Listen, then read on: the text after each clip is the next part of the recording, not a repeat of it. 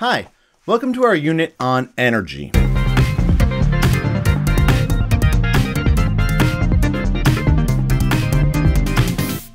Energy and the use and processing of energy is incredibly important in living systems. We're going to begin this unit with a discussion of bioenergetic theory, or how living systems exist in a universe that has physical laws that govern how energy behaves. And I figured that the best way to make the point that energy is so important for living systems is to put up a picture like this and point out that death is the inevitable result of biological systems no longer being able to successfully use energy. The question that we're going to answer in this first video is why do living systems use energy? We're going to talk about the laws of thermodynamics and their consequences for biological systems. We're actually really only going to talk about two of the laws of thermodynamics, and we'll start with the first one. You probably already know the first law of thermodynamics, but in case you need a refresher, here it is. Energy can't be created or destroyed, only transformed. In the vast majority of cases on Earth, the energy input is the big yellow thing in the sky, which has been photographed here in blue, but it's the sun. In almost every case on the planet, the sun is the ultimate input of energy, and living systems can't create any additional energy and they can't destroy any. What they can do is transform that energy, the electromagnetic radiation that comes from the sun, into other forms that can then be used in other places in the biological system. The consequence of the first law of thermodynamics for living systems is that you absolutely need to eat, or if you're a producer, to make your own food. If you don't go out and eat something else or produce your own food, you are not going to survive for very long. Energy input is crucial for life. We should pause here and talk about a very important misconception, which is that energy is never made or destroyed. It's only transformed. So if you say something like the cell produces energy, that suggests that you have a lack of understanding of biological energetics.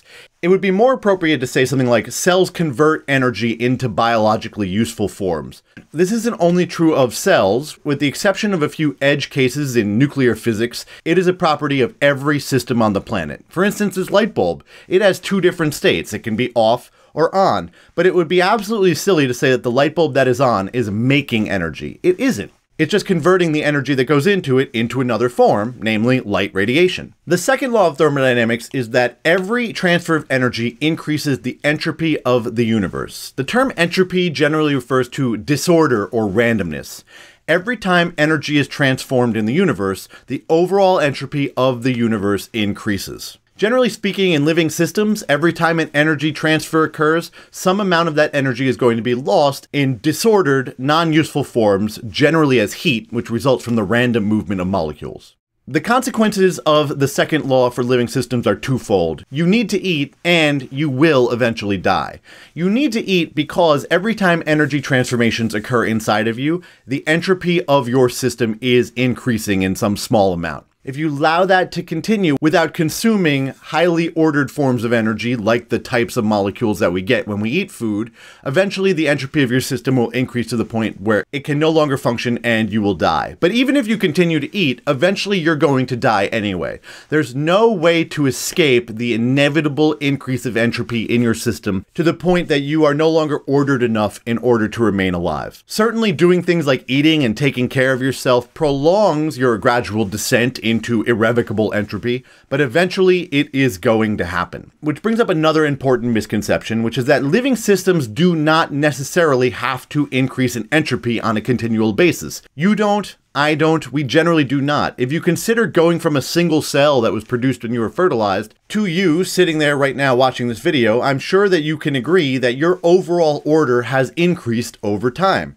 The reason that this is possible is because living systems are able to decrease your, their local entropy in the system as long as they are increasing the entropy of their surroundings. And this is true for all living systems, including the plant that this cellular cross-section was taken from. Living systems can take the order from the molecules that are input into the system and use the energy in those molecules to increase their local order. As long as those processes ultimately result in an increase in the entropy of the universe, if you want to get a really good example of this, look at the food that you put into you and then consider the form of that food when it eventually exits your system. I think we can all hopefully agree that the food that you're putting into you is a much more ordered version of those molecules than the waste that it's turned into by the time it leaves your body.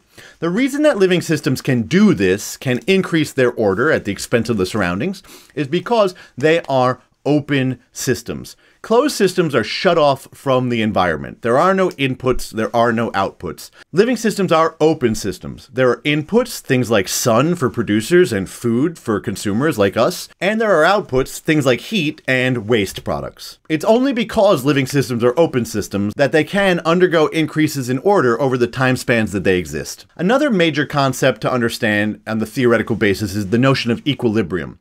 Equilibrium refers to a state in which the rate of forward reactions and processes is equal to the rate of reverse reactions and processes.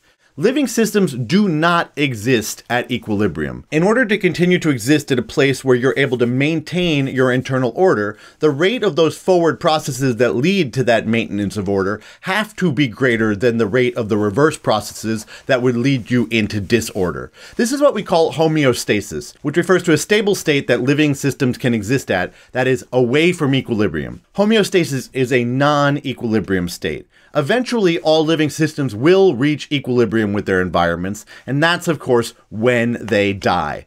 Death is the only time that living systems will reach equilibrium with their environment. And on that cheery note, thanks so much for watching our introduction to bioenergetic theory. Make sure you can do the following things here at the end.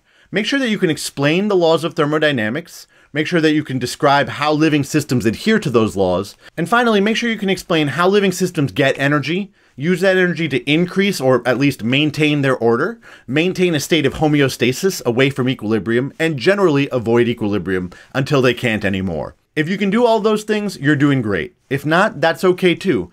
Take a moment and write down any questions that you have so that you can get the answers that you need. Thanks again for watching the video. I really appreciate it. Have a great day.